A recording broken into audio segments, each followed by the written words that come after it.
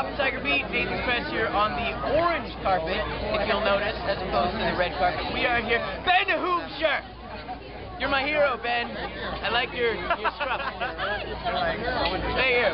Um, we uh, we are here for the screening of iCarly and Victorious crossover. iParty with Victorious. It's gonna be awesome. Everybody's here. We're very excited.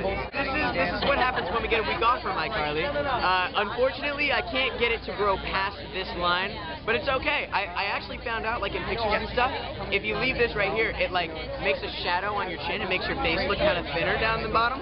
So I'm gonna keep it. And uh, my manager says it makes me look a little older and more mature. So I'm trying to kind of branch my way up there as opposed to being a child, which is good, being 18 and everything.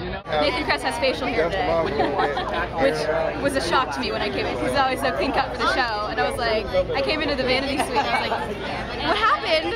Why do you look like you're like 20 now? And he's like, oh, we had a hiatus week. Oh my gosh, it's crazy. You guys are gonna see it in a minute, but wow. Uh, he is rocking it. He's doing a great job. Um, manly. No, he looks adorable. Like he's showing his manliness. He looks cute.